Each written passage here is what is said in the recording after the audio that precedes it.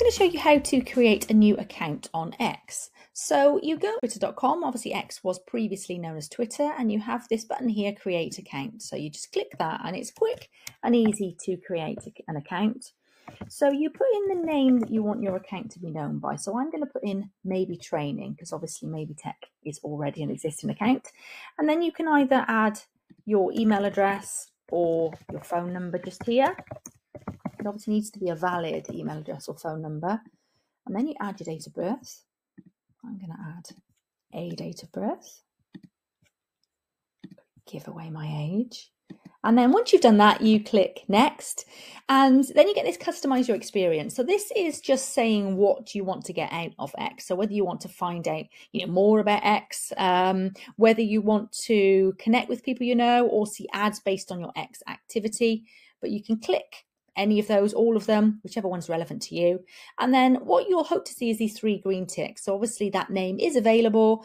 That's a valid email address and date of birth. So then you click sign up. And then you need to authenticate. So this is where the pressure is on. So what you need to do on the left hand side, it says four times and then a particular symbol. That number will change and so will the symbol. And you need to scroll through and just find the image that contains what it says on the left. So um, this is the image and you'd repeat that 10 times. But for the purpose of this video, we'll cut and jump straight into once we've gone through this process. There we go. So thankfully I've proven that I'm human. So now I'm going to go into my email to actually get the code. There we go. So I'm going to put in my verification code. Click next. And then you put in a password. So obviously, um, you'll be used to setting passwords by now, but make it something that's um, people aren't able to guess and then you pick a profile picture. So this this might be your logo. This will be something that obviously shows your brand. I won't put one in for now. Um, I'm gonna here you can put in different usernames just to see what is actually available. That one's actually taken, so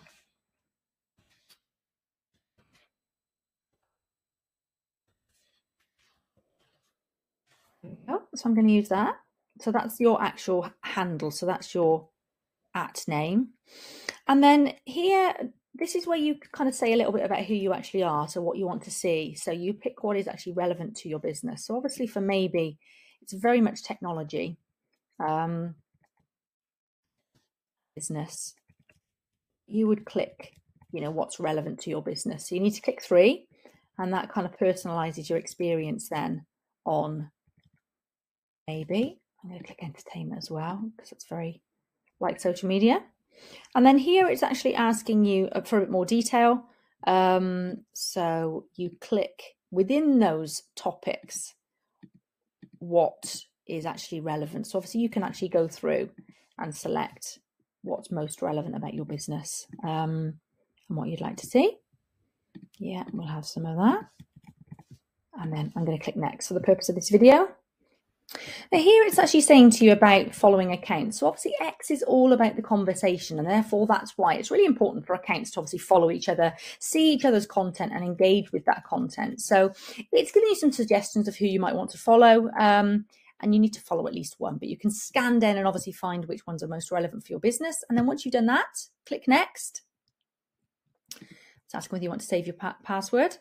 And that's it. So that's my brand new X account set up. So I obviously followed Elon Musk. So now I can actually see his content here in my feed. The more accounts you follow, the more content you will see there. And obviously, it's content that will be relevant to your business if you've actually picked feeds that are relevant to you.